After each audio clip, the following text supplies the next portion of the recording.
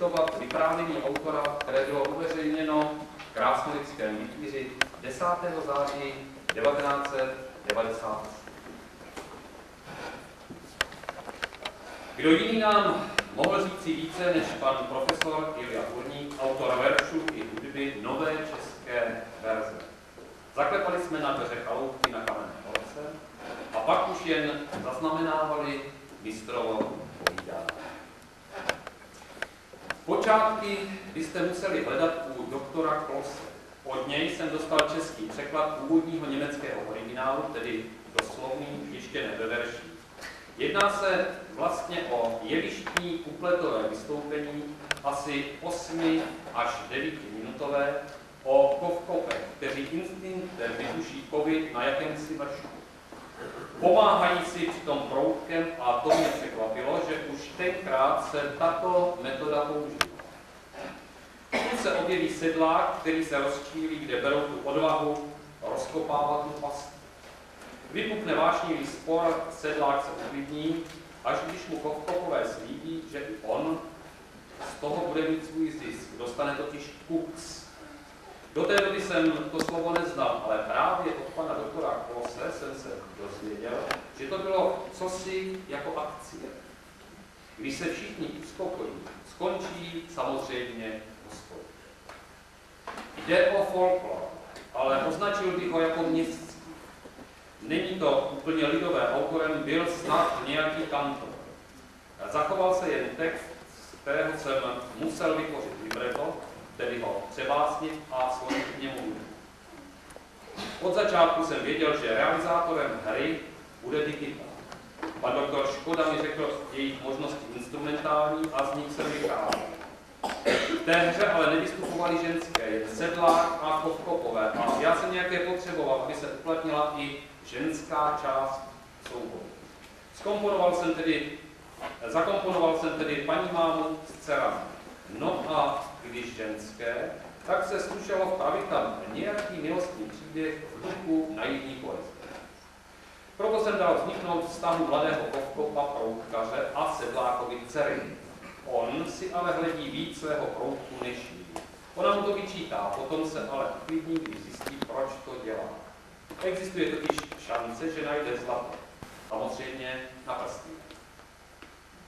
Tohle už je tedy ve hře nové, ale podobně vzniká vlastně každá skladba.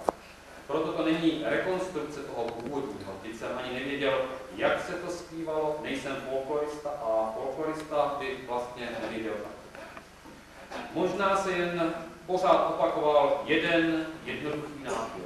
Nevím. Možná v tom hráli citery, to bylo tady, tehdy rozšířený nástroj. Autentický je tedy ten základní příběh a jeho naivita. Nám všem už je v něm leco cizí. Vždyť se tu, vždyť se tu jde vlastně proti krajině. Těžba rud přece znamená těžký zásah. Je vidět, že tenkrát to tak lidé ještě nebrali. Takže následující chvíli opět krásnolická Nikita v dnešním posledním vystoupení krásnoličí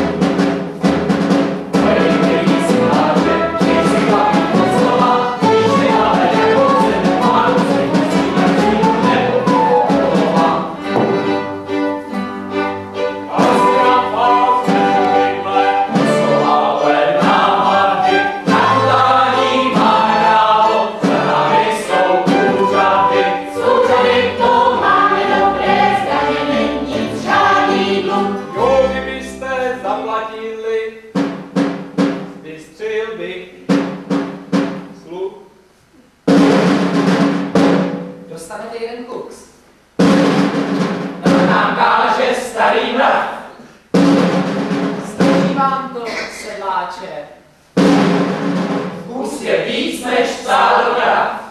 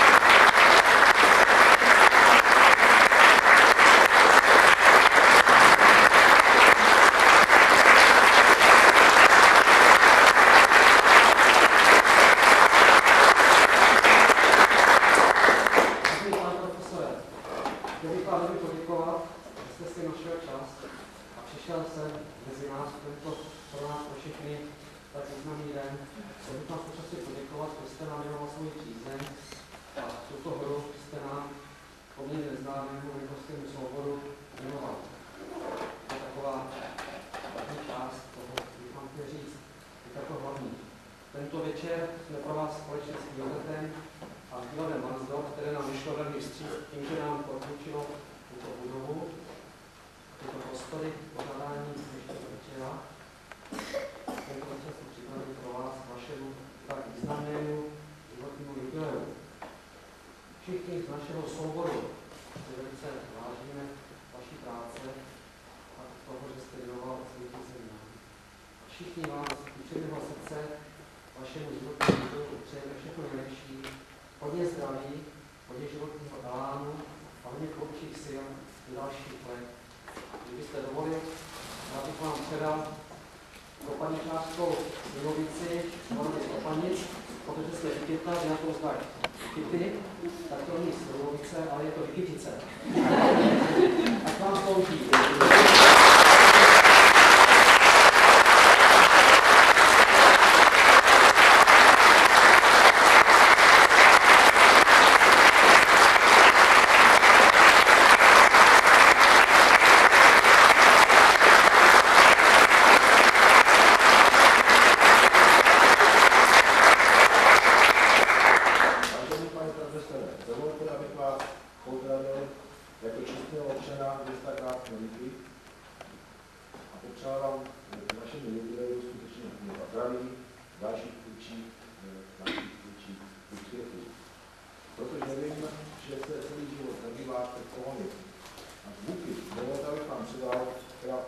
Zvoneček, který je, který je,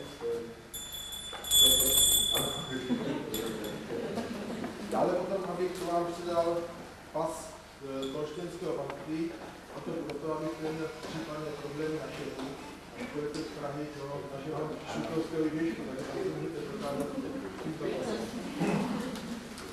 Přeji vám štěstí.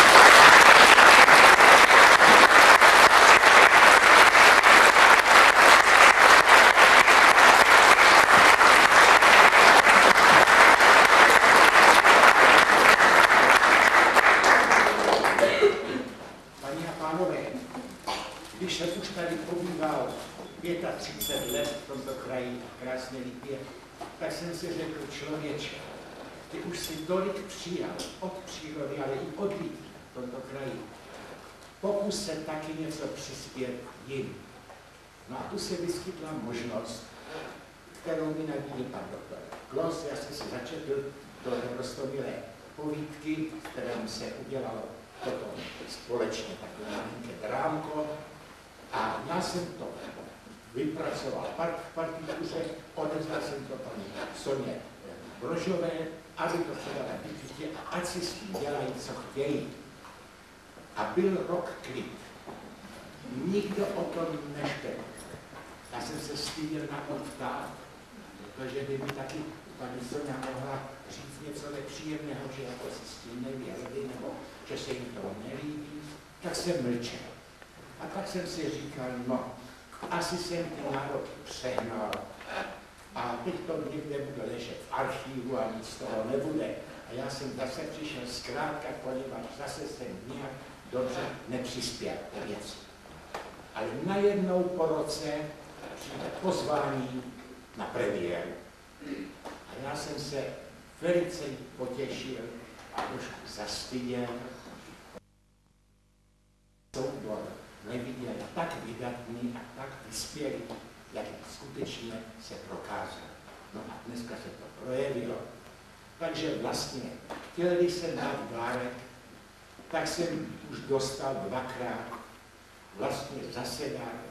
A zase se můj dluh vlastně tady vrší. No ale není všem konec a třeba vám ještě budu nějak prospěšný. Děkuji vám za, za všecko, kteří to odtančili, odspívali, odhráli a hlavně připravili. A já, když tady vidím pana doktora, eh, tak s touhletou lahvičkou, tak si říkám, teď se nemusím bát, když tohle přinese lékař, tak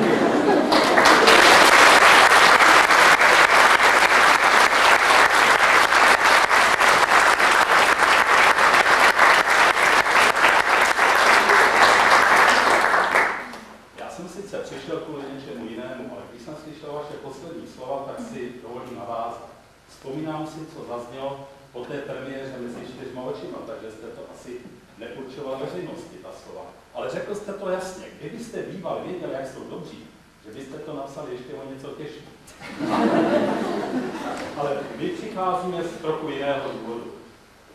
Vážený pane profesore, milí pane sousede, přicházíme jménem krásnůvských pěveckých dětských sborů Čeličky, Čeliček a Vitky. Přicházíme jejich jménem vás pozdravit, popřát všechno dobře a poděkovat vám za vaše dílo, které jste odevzdal dětem této země. Přejeme hodně štěstí, hodně zdraví a hodně krásných ještě chvíl na písničkou.